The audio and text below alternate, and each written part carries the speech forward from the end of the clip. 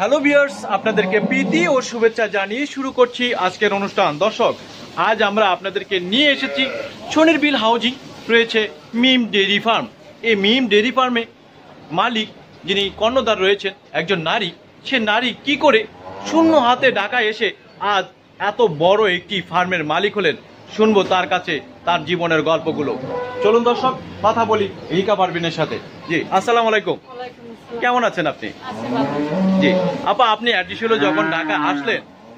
তখন অ্যাডিশনাল আপনার কত টাকা ক্যাশ ছিল? খালি হাতে আইছি ঢাকা খালি হাতে এসেছেন হ্যাঁ। আপনার দেশের বাড়ি কোথায়? সিরাজগঞ্জ। এই যে আপনার ফার্মে এখন কতগুলো গরু আছে বকনা বাচ্চা থেকে শুরু করে এবং গাভী বাচ্চা থেকে? আছে, তিরিশটা সবগুলো হলো তিরিশটা আছে। হ্যাঁ। তো আপনার এখানে তো তাহলে সবগুলো কি জনের জাতের মানে হলো গাভী গরুগুলা? গাব গরু আছে দোয়ান গরু আছে অস্ট্রেলিয়া খালি। অস্ট্রেলিয়ার আচ্ছা। মুন্ডিও মুন্ডি আছে আমাদের কি মুন্ডিও আছে। আমাদেরকে বলবেন আপনার এই খামারে কত লিটার দুধ হয়? দুশো সত্তর এই গরুগুলো গাভী গরুগুলোর দুধগুলো কি এই যে এখানে রাখা হয়? হ্যাঁ, দোয়া। হ্যাঁ, এটা হলো একদিনের মানে হলো বিকাল বেলার হ্যাঁ, দুধ। হ্যাঁ। বিকালের দুধ। সকালেরগুলো কি বিক্রি হয়ে গেছে? সকালে পাইকারি দিয়ে দিচ্ছি পাইকারি দিয়ে দিচ্ছেন আপনি পাইকারি কত টাকা দামে দিন ষাটটা আচ্ছা আমাকে বলবেন আপনাদের এই খামার করার পূর্বে আপনারা আগে কি করতেন? আগে গরু আইনে এনে ব্যবসা করছে ব্যবসা করে দরা খাইছে তারপর এই গরু গরু বাদ দোয়ান ধরলো ধরতে ধরতে একটা করে আবার গরু এনে ব্যবসা করল। মানে মূলত হলো আগে আপনারা গরু ব্যবসা করেছেন। হ্যাঁ। সেই গরু আয়না বিক্রি করা হয়তো হ্যাঁ, ঢাকায় বা বিভিন্ন জায়গাতে। সিরাজগঞ্জ থেকে এনে এনে এখানে ব্যবসা করতেন। হ্যাঁ তো সেই ব্যবসা থেকে আপনারা কি ধরা খেয়েছেন? ধরা খাইছি বিশ লাখ। বিশ লক্ষ টাকা। তারপরে এটি ছিল সর্বশান্ত হয়ে তারপরে কি করলেন? তারপর গরু দুটো একটা করে করে আইনে তারপর ব্যবসা ধরো তোমার গরুর ব্যবসা করা লাগবে না। দোয়া মানুষে দুধ দোয়া ধরে দিলে ব্যবসা মনে দুই এক বছর বাদ দিছিল দিয়ে আবার ব্যবসা ধরছে। আপনার এই খামারের তো গুলো অনেকগুলো গরু। হলো আপনারা শুরু যখন করেছেন তখন কয়টা গরু দিয়ে শুরু করেছেন? দুইটা থেকে? হ্যাঁ। দুইটা থেকে এখন কয়টা আছে? তিরিশটার মতন আছে। তো আপনার এই যে গাবি গরুগুলোর দুধগুলো বিক্রি হয় সেটা লিটার কত টাকা করে বিক্রি করেন? ষাট টাকা। ষাট টাকা? হ্যাঁ, এটা কি পাইকারি? হ্যাঁ পাইকারি। অ্যাডভান্স আছে এক লাখ দেড় লাখ। অ্যাডভান্স বলতে কি বুঝাচ্ছে মানে আগে আপনি এক লক্ষ মানে দেড় লক্ষ টাকা মানে হলো আগে অ্যাডভান্স নিয়ে নেন হ্যাঁ, হ্যাঁ। ব্যাপারীদের কাছ থেকে। হ্যাঁ তারপরে তাদেরকে এলো দুধটা দেন ষাট টাকা দামে। আমরা তো বিভিন্ন খামারে দেখেছি যে আশি টাকা নব্বই টাকা বিক্রি করে। এরা বেসে যারা আমার কাছ থেকে আশি নব্বই সত্তর টাকার ইচ্ছে মতো আমরা পাইকার খালি এই যে মাইকে খালি গুনে দিয়ে দেবো না এরা লিয়ে লিয়ে যাবে এটা কি খামারের অ্যাটিসুল আপনারা যে গরুর দুধগুলা দোয়ানো হচ্ছে? সেটা কি আপনাদের নিজস্ব লোক দিয়ে দোয়া নিচ্ছেন? না মানে ওই যারা পাইকার আপনার কর্মচারীর তিনটা কর্মচারী তিনটা কর্মচারী। আপনার এই খামার থেকে আপনি এখন হলো কি অবস্থানটা আছেন? খাওয়া দাওয়া ছাল মানুষরা শাশুড়ি শ্বশুরদের খাওয়াই না জানে সবই ভালোই চলতেছে কোনো কষ্ট নেই। আপনার যখন আপনারা ওই যে গরুর বিজনেসটা করেছিলেন তারপর আপনারা ঢাকায় আসছেন। আচ্ছা শুরুতেই কি আপনারা গরু দিয়ে শুরু করেছেন? না এর আগে অন্য কোনো কাজ করেছেন না আপনি? না গরু দিয়েই। গরু দিয়ে শুরু করেছেন? কাজই করে নাই এখনও কোনো কাজ করে না। এই গরু বসে থাকে গরু কাছে থাকে লেখে খাতায় তারপর এই দেশে যা দুই একটা গরু আনবে গরু বেচা হলে বেচে না হলে আমার আইকেতে দিয়ে দেয়। তাহলে আপনার মূলত হলো আমাদেরকে একটু গরুগুলো ঘুরে দেখাবেন। যে এই যে গরুগুলো আছে কোনটা গরুটা? এটা এটা? হ্যাঁ। এটা কালকে কত লাখ টাকা দিয়ে এনেছে আনছে দুই লাখ এরকম এটা দুই লক্ষ টাকা দিয়ে নিয়ে আসছে। হ্যাঁ। তো এই গরুটা কি আপনারা আবার বিক্রি করবেন? হ্যাঁ এটা আবার বিক্রি করবেন। এটা কি ধরনের দামে হলে বিক্রি করবেন?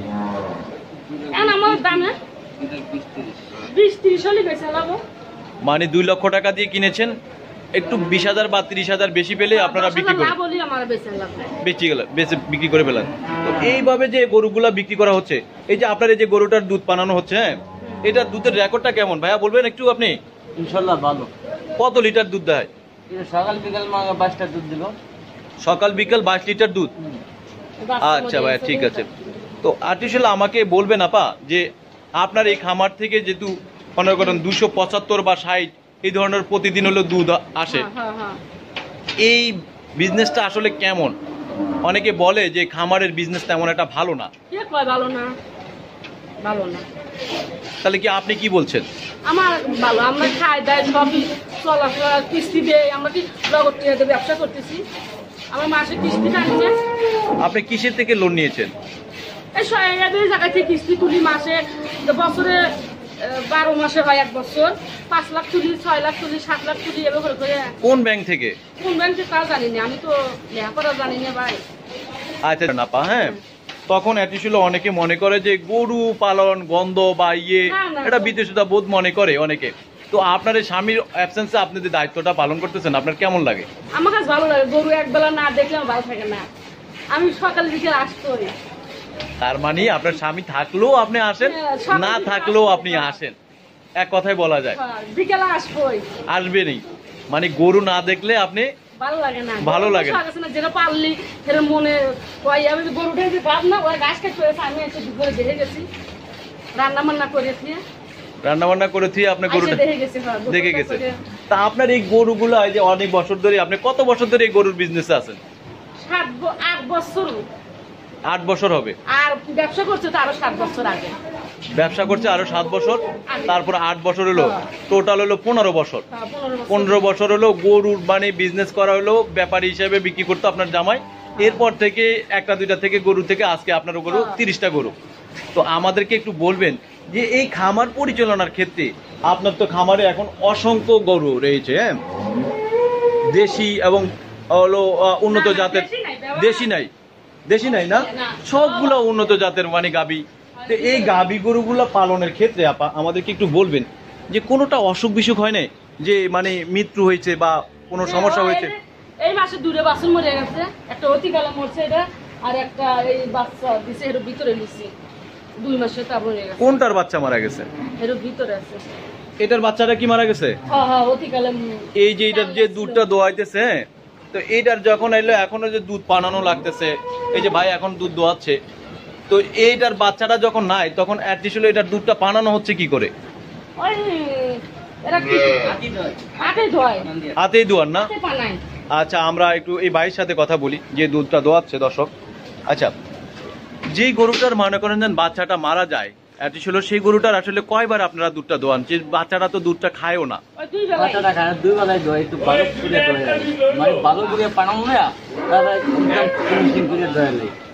দুইবার? দুইবার। দোয়ালে হয়। আচ্ছা আপা এই যে আপনার মনে করেন যে এখানে তো অনেকগুলো গাবি আছে তো সেই গাবিগুলোর মধ্যে থেকে যে বকনা বাচ্চা সার বাচ্চা আসে হ্যাঁ তো সেগুলা কি বিক্রি করেন? একটা। একটা দেড় মানে এগুলো কয় মাসের বাচ্চাটা বিক্রি করছেন? সাত মাসের বাচ্চা সাত মাসের বাচ্চা মানে হলো দেড় লক্ষ টাকা বিক্রি করছেন। তা আমাদেরকে একটু হলো বকনা বাচ্চা একটু দেখাবেন। যে বাচ্চাগুলো আসলে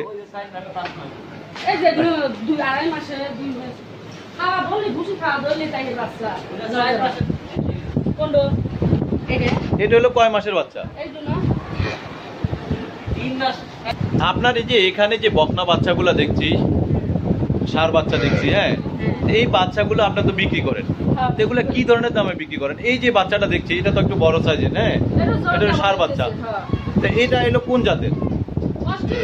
অস্ট্রেলিয়ার এটা বিক্রি করলে কত টাকা বিক্রি করবেন এখন। এখন বিক্রি করলে তিরিশ হাজার। হ্যাঁ। এই তিরিশ হাজার দিয়ে যদি কেউ নিতে চায় তাহলে বিক্রি করবেন? হ্যাঁ,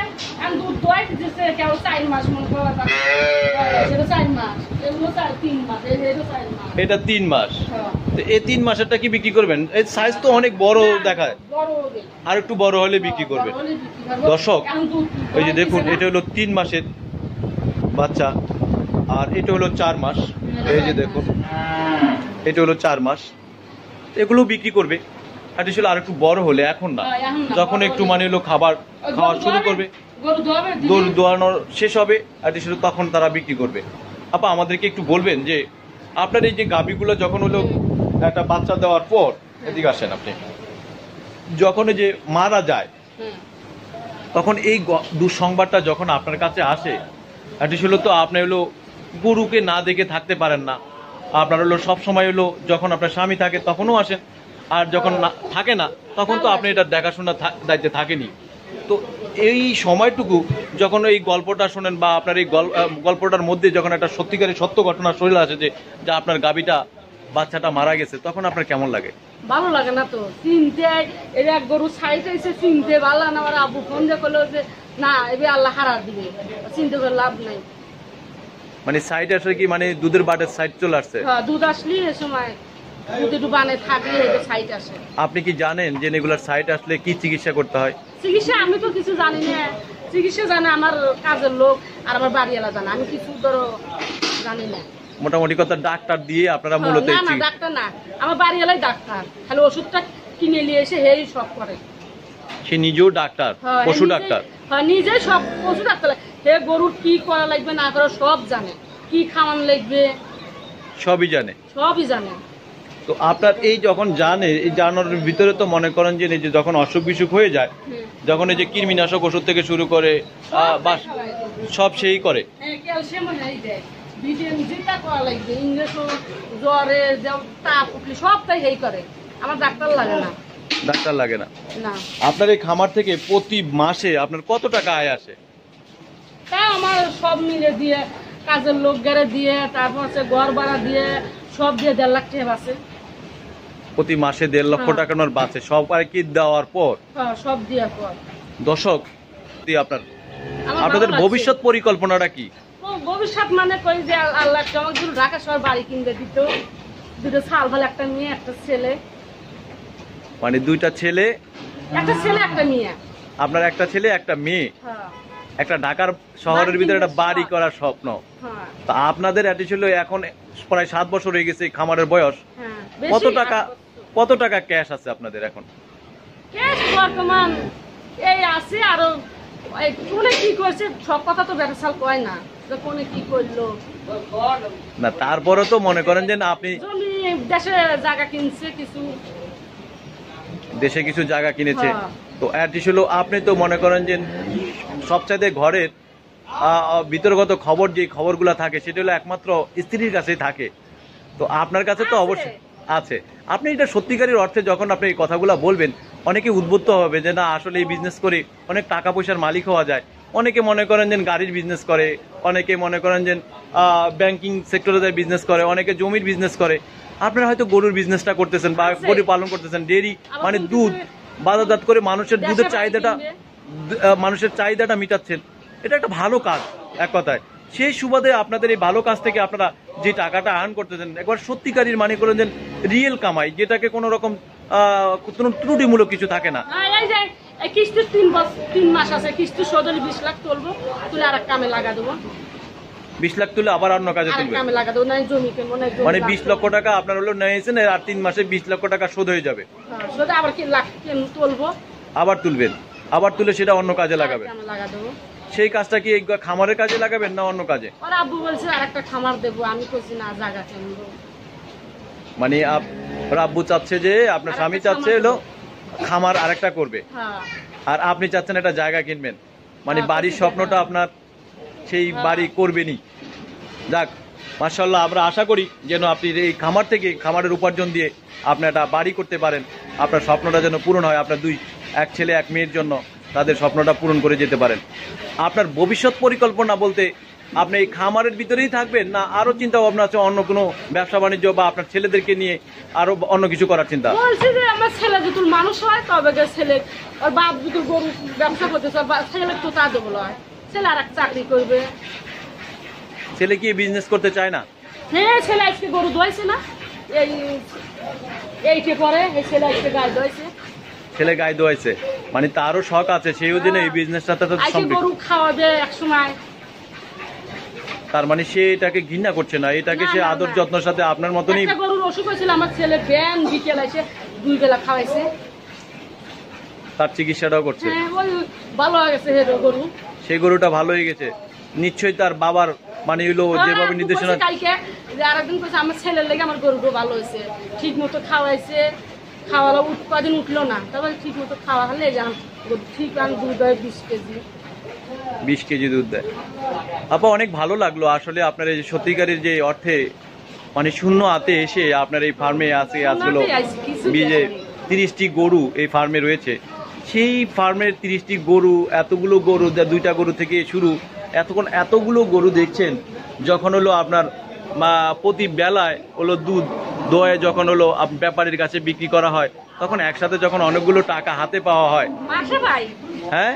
মাসে দৈনিক পাই না। এটা মাসে দেয় তারা। মান্থলি হিসাবে টাকাটা দেয়। মাসে আমরা বুসির করে মাসে দেই। এই যে এখন বিল পাবো পাঁচ তারিখের থেকে বিল পাওয়া ধরবো। এক মাসে দুধের বিল কত পান চার লাখ পাঁচ লাখ। ছয় লাখের উপরেও পাই। ছয় লাখের উপরেও পান? হ শীতের সময় বেশি হয়। শীতের সময় বেশি হয়। শীতের সময় বেশি হয় কেন? আপনি খাবারগুলো কি দেন? শীতের সময় গরুর বাছুরে যে গরুর বিশ কেজি দুধ দেয় সে গরুর পঁচিশ কেজি দুধের বের ঠান্ডা পায়। মানে গরমের সিজনটা একটু গরমের কারণের জন্য মানে একটু গরুটা দুধটা কম দেয়। তো আপনাদের এই খামারে কয়বার গোসল করানো হয় গরুকে? দুই বের সকাল বিকেল। সকাল বিকাল দুইবার?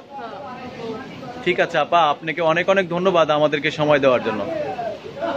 দর্শক শুনলেন? এই নারীর কাছে যে এটি ছিল এটি ছিল নারী কি ধরনের মানে এলো পরিচালনা করে এই খামারটি আজকে অনেক বৃহৎ আকারে রূপ ধারণ করেছে। দর্শক, আপনারা উপকৃত হলেই আমাদের সার্থকতা। আপনারা ভালো থাকবেন, সুস্থ থাকবেন। আল্লাহ হাফেজ।